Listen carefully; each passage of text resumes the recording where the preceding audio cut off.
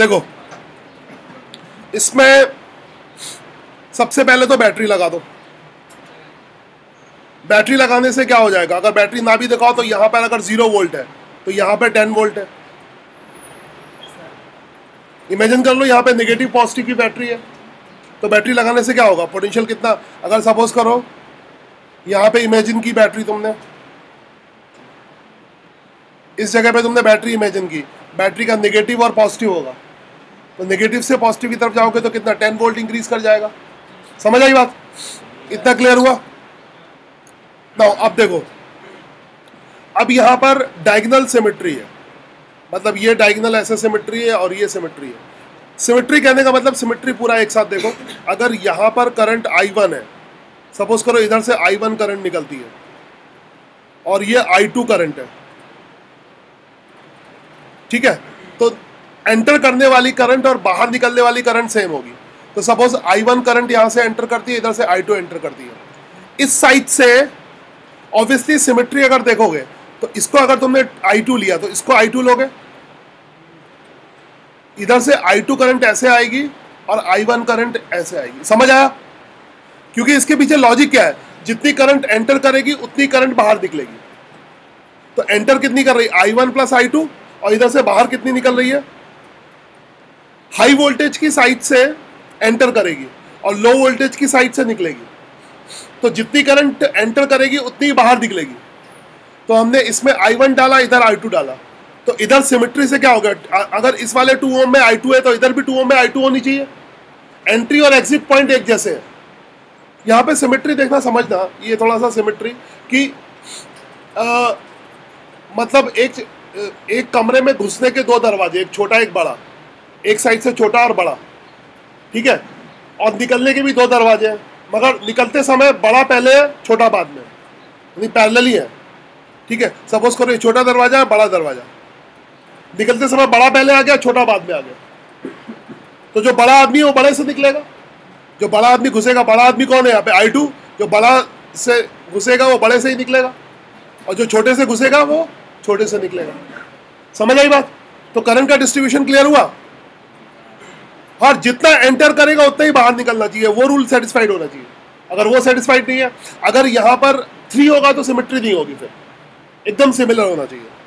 तो सिमिट्री कुछ specific question में ही लगती है। सिमिट्री जहाँ पर लगे, वहाँ पर लगाना चाहिए। अब यहाँ पर आई वन करंट है और रेजिस्टेंस वन ओम है। तो इसके क्रॉस चेंज इन पोटेंशियल कितना होगा? I one into I one ठीक है? और यहाँ भी आई वन करंट है और यहाँ भी वन रेजिस्टेंस है तो इसके क्रॉस चेंजिंग पोटेंशियल कितना होगा? आई वन इंटू वन बस जो फ़र्क होगा वो क्या होगा? इधर हम लोग करंट के अपोजिट चल रहे हैं तो पोटेंशियल क्या होगा? मतलब पोटेंशियल इंक्रीज करना चाहिए। तो ठीक है, यहाँ भी करंट के अपोजिट चल रहे हैं, ऐसे तो पोटेंशियल इंक्रीज करना चाहिए। तो अगर ज़ीरो वोल्ट यहाँ पर है, यहाँ पर भी ज़ीरो वोल्ट होगा, यहाँ पे पोटेंशियल इंक्रीज करके अगर एक्स यहाँ पर हो गया ठीक है? अब इधर अगर करंट की डायरेक्शन में चलेंगे तो पोटेंशियल डिक्रीज करेगा। इधर इधर तो हम करंट के अपोजिट चले पोटेंशियल इंक्रीज कर गया। इधर करंट की डायरेक्शन में चलेंगे पोटेंशियल क्या करेगा? डिक्रीज करेगा। और उतना ही डिक्रीज करेगा जितना यहाँ पे इंक्रीज किया है। इस लॉजिक को ध्यान पे, ध्यान से देना तो यहाँ पर डिक्रीज करके कितना हो जाएगा? Ten minus X. समझ आई बात? तो ये लॉजिक बहुत ध्यान से समझना। अब हमें इक्विवेलेंट रेजिस्टेंस अगर निकालना है, अगर इक्विवेलेंट रेजिस्टेंस में इस पूरे सिस्टम को एक से रिप्लेस करना पड़ता है, ठीक है? इस पूरे सिस्टम को एक से रिप्लेस करना पड़ता है, यानी सपोज़ ए साइड है और बी साइड है, ठीक है? इधर नेगेटिव साइड है और इधर पॉजिटिव साइड है। नेगेटिव पॉजिटिव का मतलब सेल लगा हुआ है, ठीक है? पोटेंशियल की वैल्यू ज़ीरो और टेन वोल्ट है।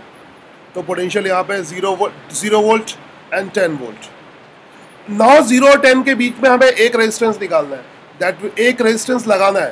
That is called equivalent resistance ठीक है?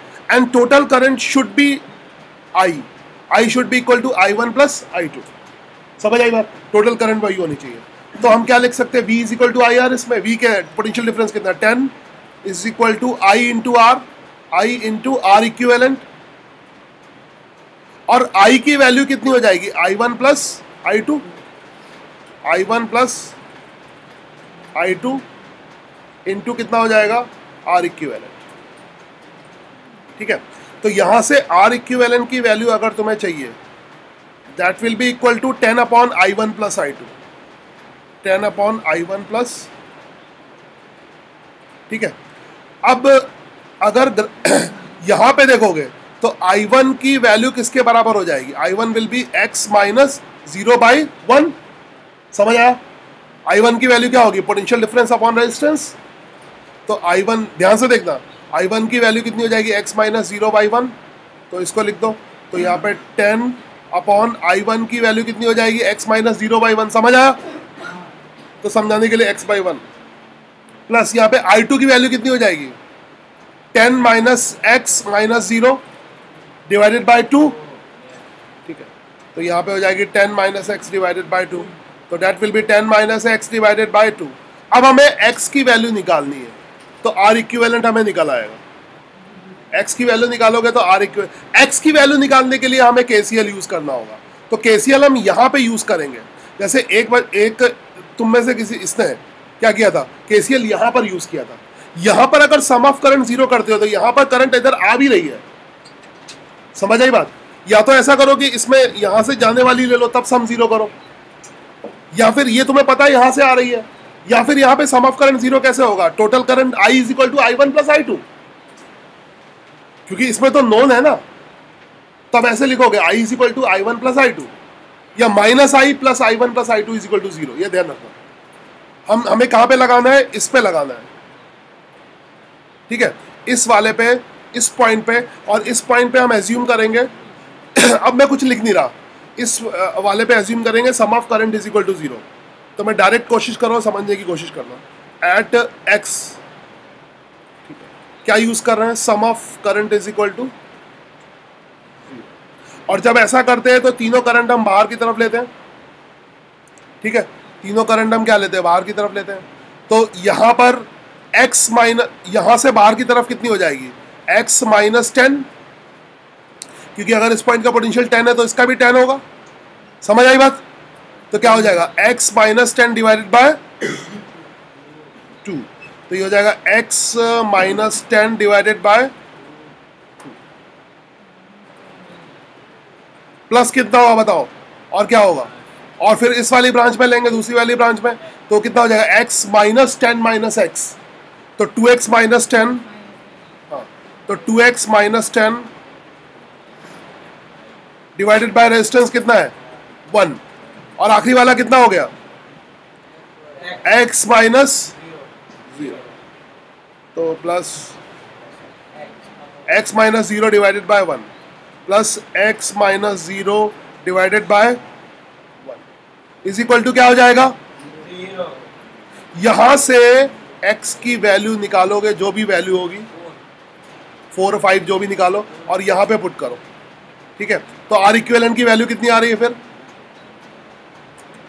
है ना एक्स की वैल्यू फोर आ रही है, जो तुम बोला है। पता नहीं कितनी आ रही है, वो सब लोग चेक करके करो। यहीं पे स्टॉप कर दो।